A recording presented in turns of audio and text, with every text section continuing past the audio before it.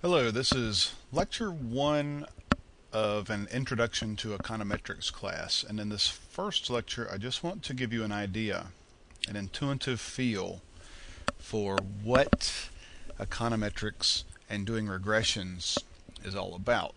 Now, what I'm going to be doing here is not exactly what we do in econometrics, but unless you have the basic idea, getting into all the technical details doesn't make a lot of sense. So the basic idea is in econometrics, we want to look for relationships between things. We want to be able to predict things, and we want to be able to test hypotheses about relationships. And so, what we usually start with is the idea of looking at a scatter plot. Here we have a scatter plot with two variables horsepower of a car and the price of a car in thousands on the y-axis. And so for any certain point, say this one, the coordinates of this point are 172 horsepower and $37.7 thousand for this particular car. And over here are cars with lower horsepower, 63 and $7.4 thousand. Now, this data is from 1993, so some of the cars might be a little less expensive or different prices than you might see now. In a basic statistics class, you learn about the idea of correlation.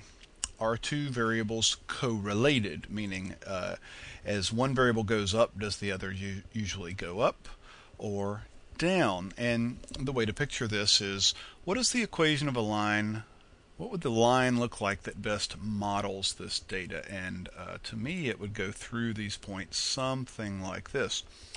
And so the first idea is the question is there a relationship? But regression and econometrics goes much deeper. Not just is there a positive or negative correlation, but what is the relationship exactly? So we want to find the line that best describes the relationship between these data or uh, best models this relationship. And the computer will find lines for us in the future, but I want to start off by just drawing a line that looks good to me. So I am going to add a uh, line here. I'm going to draw it by hand, sort of uh, using Excel and I'm just going to draw something that looks kind of good to me. Okay. Uh, stretch the line out here, and I think that's a little too high. So if I drag it this way, maybe it'll go through more or less the middle of most of these points. Okay, that's that's looking pretty good there. I'm, I'm kind of happy with that line.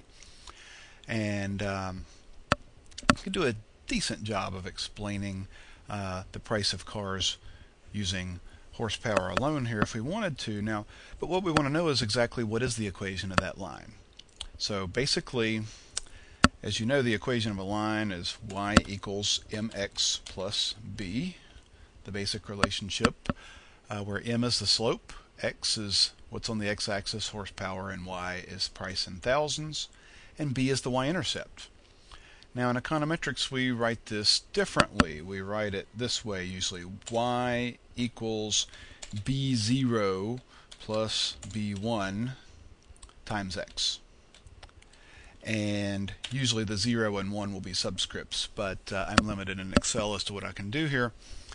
Where y is the price in thousands, x is the horsepower, and b0 is the y-intercept, and b1 is the slope. Slightly different way of notation that we use here.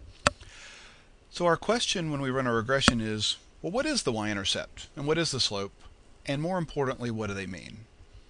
And so y-intercept is where this line hits the y-axis down here, and I would guess that that looks like it's about minus 4 or minus 5, somewhere around there. So I'm going to say that my estimate, b0, is equal to 4. And for the slope, we need to find two points somewhere along this line and ask ourselves what is the rise and what is the run between those points. And any two places on the line will work. Uh, I usually pick the ends of the line, although it's it's not totally necessary.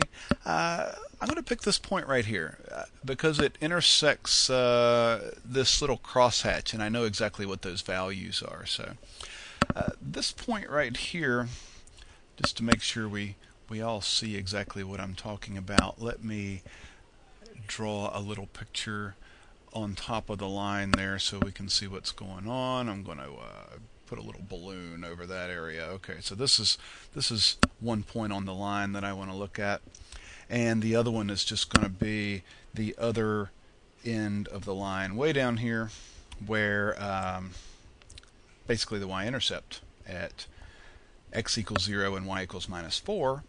And this other big point over here is uh, x equals 250 and y equals 40.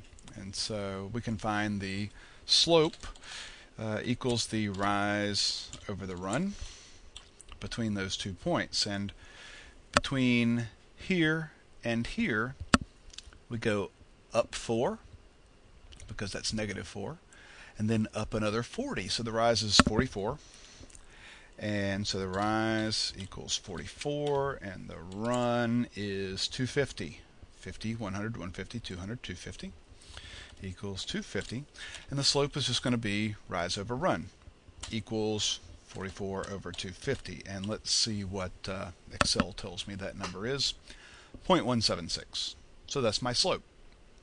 So we would write this equation something like y equals negative 4 plus 0.176 times x. Or you could fill in what are y and x? Well, price in thousands is equal to minus 4 plus, uh, 0.176 times x. Now, what can we do with this? Three things that we usually do with these things. Uh, the first thing is, from a statistical standpoint, we could test a hypothesis do a t-test or something else in statistical. Uh, we could test the hypothesis that there is no relationship between horsepower and price. And we can either reject or not reject that hypothesis. Second thing we, we can do is just interpret the y-intercept and the slope. Now the y-intercept, this is a bit tortured, but the y-intercept tells us the value of price when horsepower equals zero. What would we predict? Well, if a car has no horsepower, then the price should be minus $4,000 because those are our units. Now, we don't literally interpret that most of the time because it doesn't make sense to have a car with zero horsepower. Similarly, people don't have zero education or they're not zero years old. Uh, most people aren't. So, uh, interpreting the x equals zero most of the time doesn't make sense. Sometimes it does. Now, the slope we also want to interpret, which is for each additional x, for each one additional horsepower, how much do we go up? And so for each additional horsepower, the price goes up over 1, up how much? Over 1, up how much? Well, up 0.176. $1,000. You've got to keep the units in mind. And so we can interpret this slope 0.176 for each additional horsepower. We would expect the price of a car on average to go up by about $176 because that's 0.176 thousand dollars. Now, lastly, uh, what we do with these equations a lot is predict things. Like, for example, if we put in 100 horsepower, how much should a car cost? And we can look at that two ways. First, look at your line that you drew. Well, 100 horsepower predicts, uh, it looks on the ballpark, uh, maybe 13, on the order of $13,000 there, right? Or we can plug in 100 for x, and we'll get 0.176 times x is uh, times 100 is going to be 17.6. Subtract 4, 13.6. So our prediction if x equals 100, then y is going to equal 14, sorry, 13.6 thousand dollars. And we would use that to try to figure out if is this price of this car for 100 horsepower, is that kind of reasonable or is it uh, too much? And the 10 minutes are over, so I'm going to end this video right now.